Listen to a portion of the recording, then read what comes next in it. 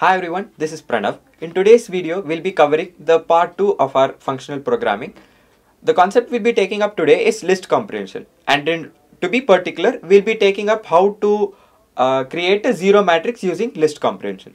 So to create a uh, zero matrix in general, what we do is we initialize a matrix M and let us say we want three rows. So for i in range of 3 we'll create a row for each uh, iteration and then uh, we append as many zeros as we require. So we'll take a 3 cross 3 zero matrix here. So our inner loop will also range for 3 elements.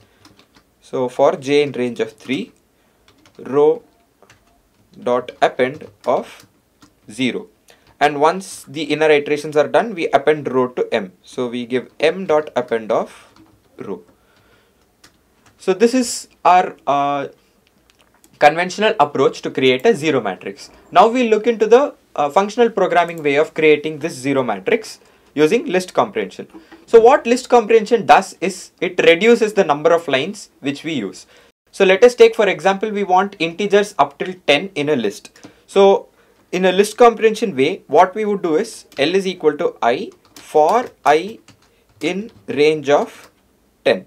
So this will reduce the number of lines which we use to create the list. If, instead if we use the conventional way we'll create an empty list and then we'll create for i in range of 10 and then l dot append of i which consumes more than one line. So this, this is how list comprehension helps us reduce the number of lines. Now we'll use this concept to create a zero matrix. Now in a zero matrix we saw that we have rows containing zeros which get appended to the main matrix as we have seen over here. So to create that we'll have to first uh, get rows containing the zeros and then iteratively add those rows containing zeros to the main matrix. So we'll create uh, let's say a ma matrix Z. Now this matrix is going to have rows inside it which are basically 0 for j in range of 3. So what this piece of code does is it generates a list containing three zeros. So for j in range of 3 uh, ensures that it iterates three times to create a list containing three zeros.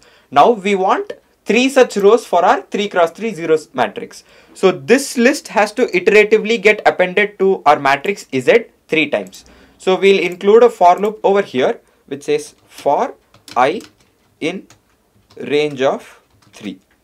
So this ensures that the inner iteration gives us a zero uh, row having three zeros and this list gets appended to our main matrix Z by the uh, iteration over here for i in range of 3. So this is how we'll get our 3 cross 3 zero matrix. So I'll print out this matrix Z print of Z and we'll see what the output. So as you can see, we have a 3 cross 3 0 matrix provided. So this will be helpful in uh, questions such as addition and multiplication of matrices where we need a base matrix having uh, zeros. Thank you.